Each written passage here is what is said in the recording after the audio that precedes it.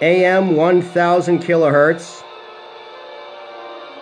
Transmitting this signal via an oscillating crystal right here.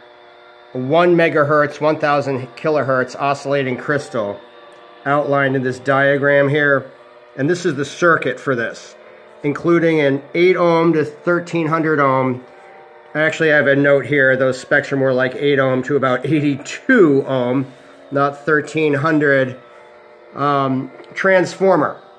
And those are these little guys. And I discovered that you cannot plug, you cannot get the pins there in the breadboard the signals do not come across, and I was troubleshooting that earlier, from the oscillating crystal here, one end, one pin goes to ground on the crystal, one goes to antenna, which is an 18 gauge solid copper wire. I've got three meters or nearly 10 feet of that, and we got the input from the transformer on the low side, and the 8 ohm side coming from my smartphone there playing some Bach.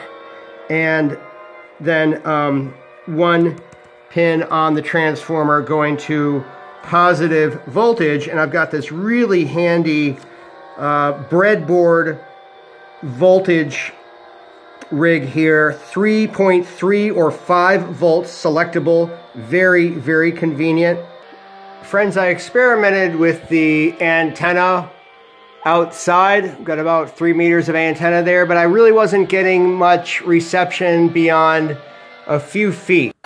Literally every 10 kilohertz is a station right now. And alas, there's our station. Transmitting AM amplitude modulation signal via a 1 megahertz, 1000 kilohertz crystal and an 8 ohm to 1300, really 8 ohm to about 80 ohm transformer.